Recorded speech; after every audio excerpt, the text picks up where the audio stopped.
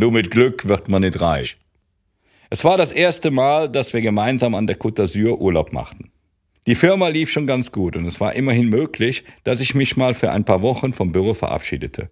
Dann hatte ich das entscheidende Erlebnis. Ich saß mit Carmen gemütlich in einem Café an der Hafenpromenade. Da fiel mein Blick auf ein unglaublich elegantes Boot, das in diesem Moment genau gegenüber angelegt hatte. Das Teil war ohne Übertreibung eine Mega-Nummer. XO, XO, XO hieß das Ding.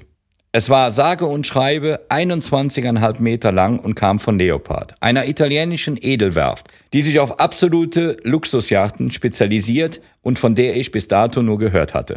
So etwas kannte ich noch nicht. Was würde so etwas wohl kosten? Mir schossen tausend Gedanken durch den Kopf.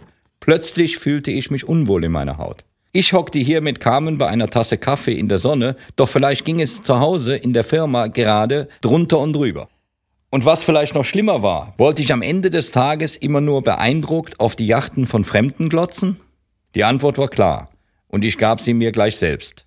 Nein, das wollte ich nicht. Ich wollte es selber schaffen, mit meiner eigenen Hände Arbeit.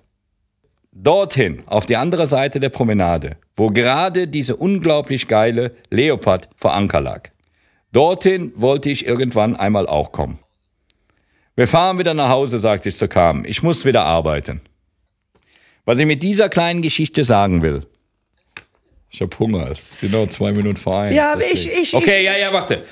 Äh, was ich mit dieser kleinen Geschichte sagen will.